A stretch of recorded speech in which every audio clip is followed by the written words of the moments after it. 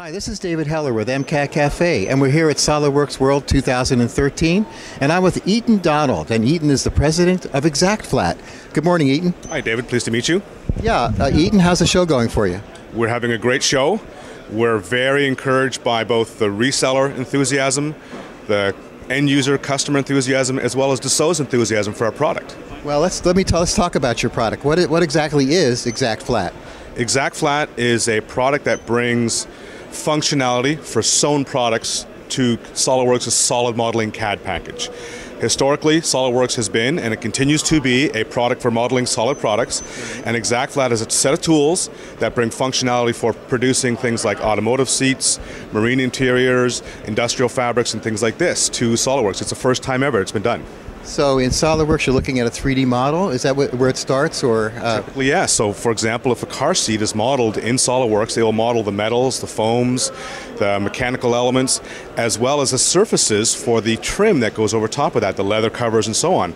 And so, what we do is we take that solid uh, model and convert it to surfaces flatten it from 3D to 2D, and then we have a whole set of workflow tools from pattern engineering, nesting, costing, and documentation to prepare that CAD file for a cutting table. And it's the first time ever that customers can use a 100% digital workflow for getting their product to the cutting table. Before, they had to use manual process. Okay, so it starts off with a 3D model. That's correct. Uh, then, it, then let's go step by step. Okay. Step one, step two, step three, just so we're all clear about this. Sure. The first thing is the customer will prepare their file, uh, 3D model. Uh, the 3D model then has to be flattened.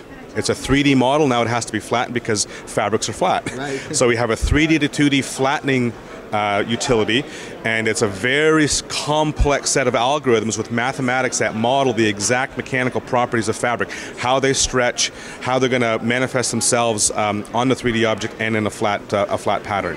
Once we flatten it, then we will do the uh, pattern engineering. Pattern engineering, very simply, is adding things like seam allowances, notching, um, grommets, uh, drill holes, grain lines, things that really allow the sewing operator to manufacture that flat pattern. From there, we nest those pattern pieces. Nesting is a process of compacting those pattern pieces on a fabric roll to optimize uh, material utilization. And lastly, two things very important to all organizations costing and documentation. So you have costing built in. How does that work? The costing is actually quite revolutionary. Uh, we take a number of inputs. First of all, there's the actual amount of material that's going to be used. So material, um, uh, the material uh, amount of material, the actual sewing um, and uh, manufacturing required, and then a sequencing of operations, which is very unique to what we do. So, for example, when you uh, uh, sew together a car seat cover, you'll need to sew a line and then turn it. And then you'll need to flip it over. So all of these other list of operations that are required for manufacturing can be attached to the geometry of your piece. This is very unique to ExactFlat. The benefit for the customer is simply they can get a very detailed actual manufacturing cost very early in the design cycle. Not an estimate, not 5 or 10% margin of error, an exact estimate for how much it's going to cost. Oh, that's fabulous. And the output of the of your process is goes to a cutting machine? That is correct. It goes to either a CNC cutting machine or a die cutting machine depending on the industry.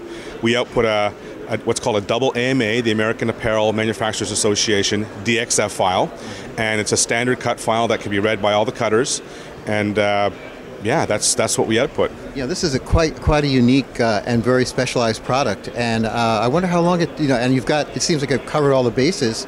With you know, we've thought we've done a lot of thinking about this. And how long did it take to, to develop this and get it to the point where it is now? Well, it's a great question. It actually took a, a quite considerably long amount of time. The product had its roots in. Uh, decorative textures for the automotive and mold industry. So we started out by taking 2D textures and applying them to 3D molds or 3D objects for, um, for etching out mold and texture designs. These are used for a car dashboards or A-pillars or things like that. And we got a very good understanding of this mapping process from 2D to 3D. And that was about eight years ago. And what we did since then is we said, okay, now let's try the challenge of 3D to 2D and applied specifically to fabrics. Mm-hmm. It took a long time to work out the mathematics about how to go from 3D to 2D and how fabrics stretch. Now, what's unique about ours is that we can both handle simple surfaces and very complex, non-developable surfaces. Our company, in order to develop this product over the last seven years, uh, has had three skill sets. Number one, advanced mathematics, research level mathematics. The second thing is um, knowledge of the sewing industry. And the third thing is knowledge of the CAD products and how to program into APIs. And this is the convergence. This is where we really have a, a core, core competency. Yeah. Uh, let me ask another question. Is there, is, do you have any ability to collaborate amongst other engineers that are working on a design or what have you? We have, uh, our product is uh, also unique in that it's database driven. So we have separated the geometry from the data required to add features. So for example, if you're going to have a particular material type, you pick that from the database and you attach it to your geometry. If you're going to have some features like a half inch seam allowance, quarter inch seam allowance, or whatever it might be, you pick that from the uh, company standard uh, seam allowances and you attach it. So because we've separated the geometry from the data, this data can be shared right. very, very, very easily.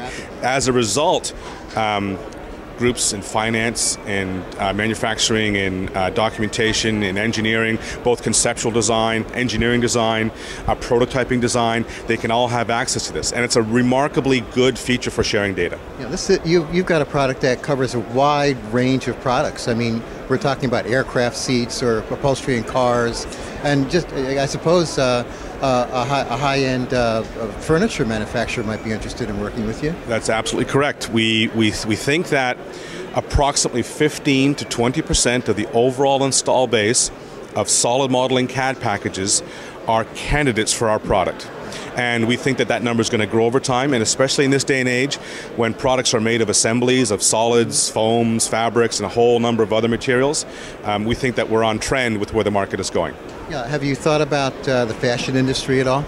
We absolutely do. Uh, the fashion industry is a very large industry. What's uh, interesting about the fashion industry is they typically have uh, 13 retail periods per year, mm-hmm. rapid turnover in product. Time is very, very important. They have to be on trend, and we think our product fits exactly uh, right with that. In fact, what we're doing with the fashion industry, we're doing some um, uh, very advanced uh, experiments in taking 3D body scans, surfacing on those body scans, modeling pants, shirts, all these different types of things, and then taking them directly to the cutting table, and in a fraction of the time that was previously required. Well, I'll have one last question, and then we'll, we'll tell people how to find out more about it by going to, to your website and so forth and learning about it. Uh, but you know, I, I would, uh, one thing is is that there's so many different types of fabrics. There's uh, maybe uh, imitation leather. There's a fabric that you might wear. Um, how do you account for that?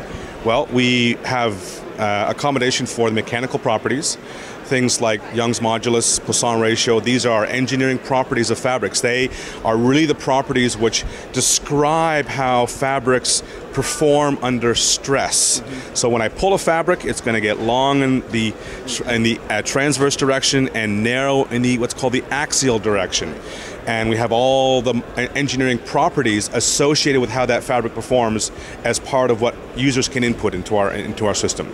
We are working on putting together a mechanical database, a properties database, much the same way that metals have a database already in the system, and we'll be pulling together all this information. We want to make it very easy for our users. So when they have a product from a manufacturer, say the manufacturer is in a canvas like Sunbrella or something like that, we've got the whole list of uh, uh, the whole catalog and the properties associated. That's why it took such a long time to get this going because there's, there's so many facets to it. We are very excited by the utility we're bringing to the end users, and because we've thought through the entire workflow from beginning to end, we think that users are going to be extremely excited and it's going to deliver real business value for them. Yeah, I, I, I, I can see that.